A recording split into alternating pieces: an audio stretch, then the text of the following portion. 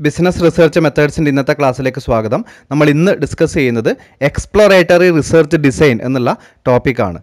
Types of research ഡിസൈനിന്റെ ഭാഗമായിട്ടാണ് നമ്മൾ എക്സ്പ്ലോറേറ്ററി റിസർച്ച് ഡിസൈൻ പഠിക്കുന്നത്. പ്രധാനമായും മൂന്ന് ടൈപ്പ് ഓഫ് റിസർച്ച് ഡിസൈൻസ് ആണ് നമുക്ക് പഠിക്കാനുള്ളത്. അതിൽ ഒന്നാമത്തത് എക്സ്പ്ലോറേറ്ററി റിസർച്ച് ഡിസൈൻ രണ്ടാമത്തത് descriptive or diagnostic research design മൂന്നാമത്തത് എക്സ്പെരിമെന്റൽ റിസർച്ച് ഡിസൈൻ ഇതിൽ ഒന്നാമത്തെ എക്സ്പ്ലോറേറ്ററി റിസർച്ച് ഡിസൈനാണ് നമ്മൾ ഇന്നത്തെ ക്ലാസ്സിൽ വളരെ ഡീറ്റെയിൽ ആയി പഠിക്കാൻ പോകുന്നത്. ആദ്യം നമുക്ക് എന്താണ് എക്സ്പ്ലോറേറ്ററി റിസർച്ച് എന്ന് നോക്കാം. Exploratory research is defined as an initial research used to investigate a problem which is not clearly defined. നമുക്കറിയാം റിസർച്ച് പ്രോസസ്സിന്റെ ആദ്യത്തെ സ്റ്റേജാണ് റിസർച്ച് പ്രോബ്ലം ഡെഫിനിഷൻ എന്നുള്ളത്. അപ്പോൾ ക്ലിയർലി പ്രോബ്ലം ഡിഫൈൻ ചെയ്ത് കഴിഞ്ഞാൽ മാത്രമേ നമുക്ക് റിസർച്ച് വളരെ സ്മൂത്തായി കണ്ടക്ട് ചെയ്യാനും അതിന്റെ ഔട്ട്കം നമുക്ക് ലഭിക്കുകയും ചെയ്യും. അപ്പോൾ അങ്ങനെ വരുന്ന സമയത്ത് ആദ്യം എന്ത് ചെയ്യണം? റിസർച്ച് പ്രോബ്ലം കൃത്യമായി ക്ലിയർലി ഡിഫൈൻ ചെയ്തിരിക്കണം. അപ്പോൾ ഇത്തരത്തിൽ റിസർച്ച് പ്രോബ്ലം ഡിഫൈൻ ചെയ്യുന്നതിന് വേണ്ടി അല്ലെങ്കിൽ റിസർച്ച് പ്രോബ്ലത്തിൽ ഒരു ക്ലാരിറ്റി ഉണ്ടാക്കുന്നതിന് വേണ്ടി ഒരു റിസർച്ചർ കണ്ടക്ട് ചെയ്യുന്ന ഇനീഷ്യൽ റിസർച്ചിനെ അല്ലെങ്കിൽ പ്രിലിമിനറി സ്റ്റഡീനെയാണ് നമ്മളെന്ത് വിളിക്കുന്നത്? എക്സ്പ്ലോറേറ്ററി റിസർച്ച് ഡിസൈൻ എന്ന് വിളിക്കുന്നത്. അതായത് മെയിൻ റിസർച്ച് തുടങ്ങുന്നതിന് മുൻപ് പ്രോബ്ലം ഡിഫൈൻ ചെയ്യുന്നതിനായി അല്ലെങ്കിൽ പ്രോബ്ലം ഫോർമുലേറ്റ് ചെയ്യുന്നതിനായി അല്ലെങ്കിൽ റിസർച്ച് പ്രോബ്ലത്തിലൊരു ക്ലാരിറ്റി ഉണ്ടാക്കുന്നതിനായി അദ്ദേഹം നടത്തുന്ന ഒരു ഇനീഷ്യൽ റിസർച്ച് അതിനെയാണ് എന്ത് വിളിക്കുന്നത്? എക്സ്പ്ലോറേറ്ററി റിസർച്ച് എന്ന് വിളിക്കുന്നത്. It is the preliminary study of unfamiliar problem about which the researcher has little or no knowledge അതായത് റിസർച്ച് തുടങ്ങുന്ന സമയത്ത് റിസർച്ച് പ്രോബ്ലം ഡിഫൈൻ ചെയ്യണമെന്ന് നമുക്കറിയാം. അപ്പോൾ ഈ റിസർച്ച് പ്രോബ്ലത്തിൽ ഈ റിസർച്ചർക്ക് വളരെ കുറഞ്ഞ അറിവ് മാത്രമേ ഉള്ളൂ എങ്കിൽ അല്ലെങ്കിൽ തീരെ അറിവില്ലെങ്കിൽ അദ്ദേഹം എന്ത് ചെയ്യുന്നു? അദ്ദേഹം ഒരു പ്രിലിമിനറി സ്റ്റഡി കണ്ടക്ട് ചെയ്യുന്നു. അതായത് അദ്ദേഹത്തിന് തീർത്തും അൺഫെമിലിയറായ റിസർച്ച് പ്രോബ്ലത്തെ കുറച്ചുകൂടി മനസ്സിലാക്കുന്നതിന് വേണ്ടിയും അത് ഫെമിലിയർ ആക്കുന്നതിന് വേണ്ടിയും എന്ത് ചെയ്യുന്നു? ഒരു പ്രിലിമിനറി സ്റ്റഡി കണ്ടക്ട് ചെയ്യുന്നു. ആ പ്രിലിമിനറി സ്റ്റഡിയാണ് എക്സ്പ്ലോറേറ്ററി റിസർച്ച് എന്ന് പറയുന്നത്. It is otherwise known as formulative research exploratory റിസർച്ചിന്റെ മറ്റൊരു പേരാണ് ഫോർമുലേറ്റീവ് റിസർച്ച് എന്ന് പറയുന്നത്. അതുപോലെ തന്നെ it is conducted to have a better understanding of existing problem and to become familiar with that problem അതായത് ഒരു റിസർച്ച് കണ്ടക്ട് ചെയ്യുന്ന സമയത്ത് ഞാൻ നേരത്തെ സൂചിപ്പിച്ചത് തന്നെയാണ്. റിസർച്ചർക്ക് റിസർച്ച് പ്രോബ്ലം അൺഫെമിലിയർ ആണെങ്കിൽ ആ റിസർച്ച് പ്രോബ്ലവുമായി റിസർച്ചർ ഫെമിലിയർ ആവുന്നതിന് വേണ്ടിയിട്ടാണ് എക്സ്പ്ലോറേറ്ററി റിസർച്ച് കണ്ടക്ട് ചെയ്യുന്നത്. ഇനി എക്സ്പ്ലോറേറ്ററി റിസർച്ചിന്റെ പ്രധാനപ്പെട്ട എക്സാമ്പിൾസ് എന്തൊക്കെയാണെന്ന് നോക്കാം. That is first one F I R ഒരു ക്രിമിനൽ ഒഫൻസ് നടന്നു കഴിഞ്ഞാൽ സ്വാഭാവികമായും എന്ത് ചെയ്യും? എഫ് ഐ ആർ രജിസ്റ്റർ ചെയ്യും. എന്തിനാണ് എഫ് ഐ ആർ രജിസ്റ്റർ ചെയ്യുന്നത്? അതായത് ആ ഒഫൻസ് നടന്നു. ഒഫൻസ് നടന്ന സ്ഥലത്ത് ഏറ്റവും ആദ്യം തന്നെ ഒരു ഇൻവെസ്റ്റിഗേഷൻ റിപ്പോർട്ടാണ് അവിടെ പ്രിപ്പയർ ചെയ്യുന്നത്. ഈ എഫ് ഐ ആർ രജിസ്റ്റർ ചെയ്ത് കഴിഞ്ഞാൽ പിന്നീട് അതിനെ ബേസ് ചെയ്തിട്ടാണ് തുടർന്നുള്ള അന്വേഷണം പോകുന്നത്. അപ്പോൾ ഈ എഫ് ഐ ആർ എന്ന് പറയുന്നത് ക്രിമിനൽ ഒഫൻസ് നടന്നു കഴിഞ്ഞാൽ ആ ഒഫൻസിനെ കുറിച്ച് ഒരു ക്ലാരിറ്റി അന്വേഷണ ഉദ്യോഗസ്ഥന് ഉണ്ടാവുന്നതിന് വേണ്ടിയിട്ടാണ് എഫ് ഐ ആർ രജിസ്റ്റർ ചെയ്യുന്നത്. എഫ് ഐ ആർ ഒരു കൈൻഡ് ഓഫ് എക്സ്പ്ലോറേറ്ററി റിസർച്ച് ആണെന്ന് നമുക്ക് പറയാം. മറ്റൊരു എക്സാമ്പിൾ നോക്കാം. A restaurant owner visit other restaurants in order to collect the information about food menu price and service quality അതായത് ഒരു restaurant owner അല്ലെങ്കിൽ ഒരു റെസ്റ്റോറന്റ് തുടങ്ങാൻ ആഗ്രഹിക്കുന്ന ഒരാൾ. അയാൾ എന്ത് ചെയ്യുന്നു? മറ്റ് റെസ്റ്റോറന്റ്സ് അയാൾ വിസിറ്റ് ചെയ്യുന്നു. എന്തിനു വേണ്ടിയിട്ടാണ് വിസിറ്റ് ചെയ്യുന്നത്? അവിടുത്തെ ഫുഡ് മെനു എന്താണെന്ന് അറിയാൻ. ദെൻ അതുപോലെ തന്നെ അവിടുത്തെ ഫുഡിന്റെ പ്രൈസ് അറിയാൻ വേണ്ടി. അവിടുത്തെ സർവീസ് ക്വാളിറ്റി അറിയാൻ വേണ്ടി. ഇതിനൊക്കെ വേണ്ടി എന്ത് ചെയ്യുന്നു? അയാൾ മറ്റ് റെസ്റ്റോറന്റുകൾ വിസിറ്റ് ചെയ്യുകയും ഈ പറയുന്ന ഇൻഫർമേഷൻസ് അവിടെ നിന്ന് കളക്ട് ചെയ്യുകയും ചെയ്യുന്നുണ്ടെങ്കിൽ അതിനെ നമുക്ക് എന്തിന്റെ ഗണത്തിൽ പെടുത്താം? എക്സ്പ്ലോറേറ്ററി റിസർച്ചിന്റെ ഗണത്തിൽ പെടുത്താം. അപ്പോൾ ഇത്രയുമാണ് എക്സ്പ്ലോറേറ്ററി റിസർച്ചിനെ കുറിച്ച് പറയാനുള്ളത്. എന്താണ് എക്സ്പ്ലോറേറ്ററി റിസർച്ച് എന്ന് മനസ്സിലായിട്ടുണ്ടാവുമെന്ന് കരുതുന്നു. ഇനി എക്സ്പ്ലോറേറ്ററി റിസർച്ചിന്റെ പ്രധാനപ്പെട്ട ഫീച്ചേഴ്സ് എന്തൊക്കെയാണെന്ന് നോക്കാം. First one preliminary study or investigation നമ്മൾ നേരത്തെ സൂചിപ്പിച്ചിട്ടുണ്ട് എക്സ്പ്ലോറേറ്ററി റിസർച്ച് എന്ന് പറയുന്നത് ഒരു പ്രിലിമിനറി സ്റ്റഡിയാണ് അതായത് മെയിൻ റിസർച്ച് തുടങ്ങുന്നതിന് മുൻപ് റിസർച്ച് പ്രോബ്ലം ഫോർമുലേറ്റ് ചെയ്യുന്നതിന് വേണ്ടി നമ്മൾ കണ്ടക്ട് ചെയ്യുന്ന ഒരു പ്രിലിമിനറി സ്റ്റഡിയാണ് എന്ത്? എക്സ്പ്ലോറേറ്ററി റിസർച്ച് അല്ലെങ്കിൽ ഇനീഷ്യൽ റിസർച്ച് ആണ് എക്സ്പ്ലോറേറ്ററി റിസർച്ച് എന്ന് പറയുന്നത്.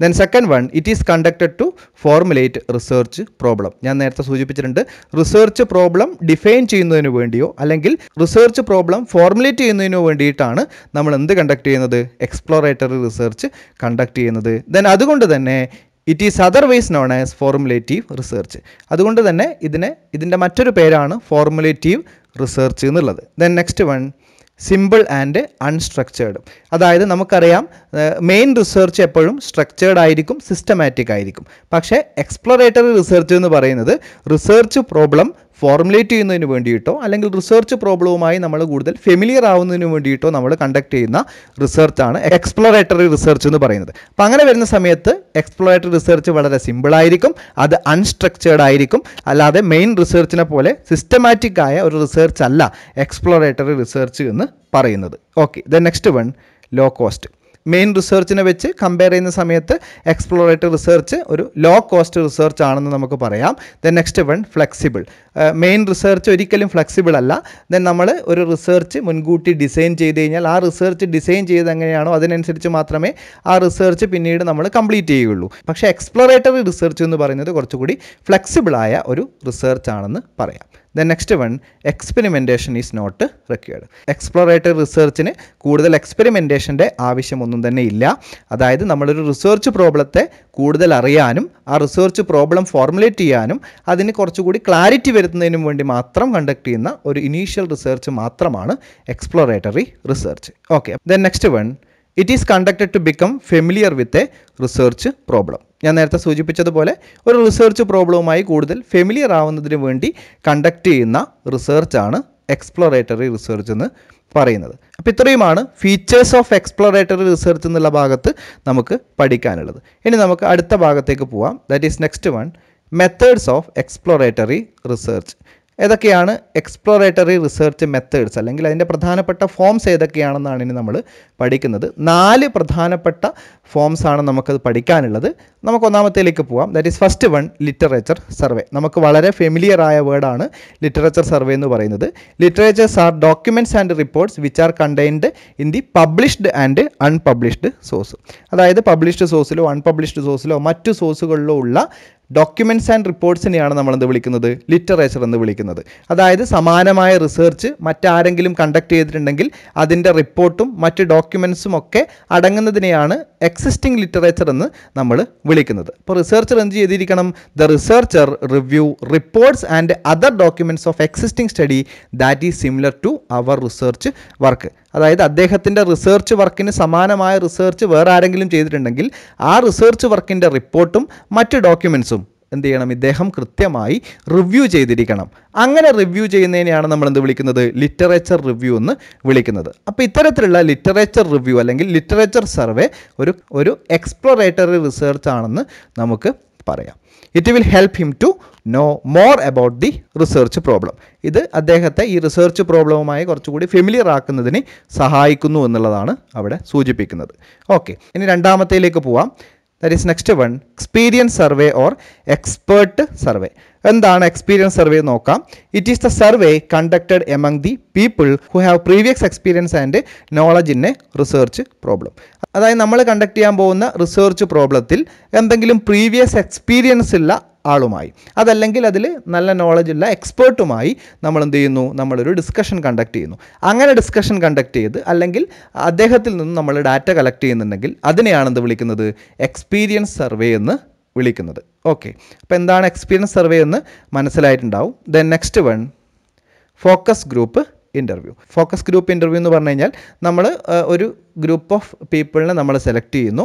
അങ്ങനെ സെലക്ട് ചെയ്തതിന് ശേഷം ആ ഗ്രൂപ്പിനിടയിൽ ഒരു ഡിസ്കഷൻ കണ്ടക്ട് ചെയ്യുന്നു. ആ ഡിസ്കഷനെ ഒരു മോഡറേറ്റർ ഗൈഡ് ചെയ്യും. അങ്ങനെ ഡിസ്കഷൻ കണ്ടക്ട് ചെയ്ത് ആ ഡിസ്കഷനിലൂടെ എന്ത് ചെയ്യുന്നു? നമ്മളുടെ റിസർച്ച് പ്രോബ്ലം റിലേറ്റഡ് ആയ കാര്യങ്ങൾ എക്സ്പ്ലോർ ചെയ്യുന്നുണ്ടെങ്കിൽ അതിനെയാണ് വിളിക്കുന്നത്? ഫോക്കസ് ഗ്രൂപ്പ് ഇന്റർവ്യൂ എന്ന് വിളിക്കുന്നത്. That is obtaining the data from a selected group of individuals participating in the discussion guided by a moderator okay അപ്പോൾ എന്താണ്? ഫോക്കസ് ഗ്രൂപ്പ് ഇന്റർവ്യൂ എന്നും മനസ്സിലായിട്ടുണ്ടാവും. നമുക്ക് അടുത്തതിലേക്ക് പോവാം. That is next one study of insight stimulating cases എന്താണ് study of insight stimulating cases എന്ന് നോക്കാം. It is the study of a situation or cases relevant to the topic or problem അതായത് നമ്മളുടെ റിസർച്ച് പ്രോബ്ലവുമായി അല്ലെങ്കിൽ റിസർച്ച് ടോപ്പിക്കുമായി ബന്ധപ്പെട്ട situations അല്ലെങ്കിൽ cases നമ്മൾ detail ആയി പഠിക്കുന്നുണ്ടെങ്കിൽ അതിനെയാണ് എന്ത് വിളിക്കുന്നത്? Study of insight stimulating cases എന്ന് വിളിക്കുന്നത്. ഇതിന്റെ മറ്റൊരു പേരാണ് ദാറ്റ് ഈസ് കേസ് സ്റ്റഡി നമുക്ക് വളരെ ഫെമിലിയർ ആയ വാക്കാണ് കേസ് സ്റ്റഡി എന്ന് പറയുന്നത്. It is otherwise known as case study അതായത് നമ്മൾ ഒരു കേസ് അല്ലെങ്കിൽ ഒരു സിറ്റുവേഷൻ അല്ലെങ്കിൽ ഒരു ഇൻഡിവിജ്വലിനെ എടുത്ത് ഡീറ്റെയിൽ ആയി പഠിക്കുന്നുണ്ടെങ്കിൽ വളരെ ഡീപ്പായി പഠിക്കുന്നുണ്ടെങ്കിൽ അതിനെയാണ് നമ്മൾ എന്ത് വിളിക്കുന്നത്? കേസ് സ്റ്റഡി അല്ലെങ്കിൽ study of insight stimulating cases എന്ന് വിളിക്കുന്നത്. അവിടെ ഏറ്റവും പ്രധാനമായും ശ്രദ്ധിക്കേണ്ടത് നമ്മളൊരു കേസ് സെലക്ട് ചെയ്ത് കഴിഞ്ഞാൽ ആ കേസ് ഡീറ്റെയിൽ ആയി പഠിക്കും. ആ കേസിന്റെ ഇൻഡെപ്ത് സ്റ്റഡിയാണ് കേസ് സ്റ്റഡി എന്നുള്ളത് നമ്മൾ കൃത്യമായി മനസ്സിലാക്കണം. ഓക്കെ അപ്പോൾ ഇത്രയുമാണ് മെത്തേഡ്സ് ഓഫ് എക്സ്പ്ലോറേറ്ററി റിസർച്ച് എന്നുള്ള ഭാഗത്ത് നമുക്ക് പഠിക്കാനുള്ളത്. അപ്പോൾ ഇന്നത്തെ ക്ലാസ്സിൽ പ്രധാനമായും മൂന്ന് ടോപ്പിക്കുകളാണ് ഡിസ്കസ് ചെയ്തിട്ടുള്ളത്. That is meaning of exploratory research എന്താണ് എക്സ്പ്ലോറേറ്ററി റിസർച്ച് എന്ന് നമ്മൾ പറഞ്ഞിട്ടുണ്ട്. Then second one features of exploratory research exploratory റിസർച്ചിന്റെ features എന്തൊക്കെയാണെന്ന് നമ്മൾ ഇന്ന് സൂചിപ്പിച്ചിട്ടുണ്ട്. Then last one methods of exploratory research അപ്പോൾ എക്സ്പ്ലോറേറ്ററി റിസർച്ച് ഡിസൈൻ എന്നുള്ള ഭാഗം ഇവിടെ അവസാനിക്കുകയാണ്. ഇത് ടൈപ്സ് ഓഫ് റിസർച്ച് ഡിസൈന്റെ ഭാഗമാണെന്ന് ഓർക്കുക. ടൈപ്സ് ഓഫ് റിസർച്ച് ഡിസൈനിൽ മൂന്ന് കാര്യങ്ങളാണുള്ളത്. അതിൽ ഒന്നാമത്തതാണ് എക്സ്പ്ലോറേറ്ററി റിസർച്ച്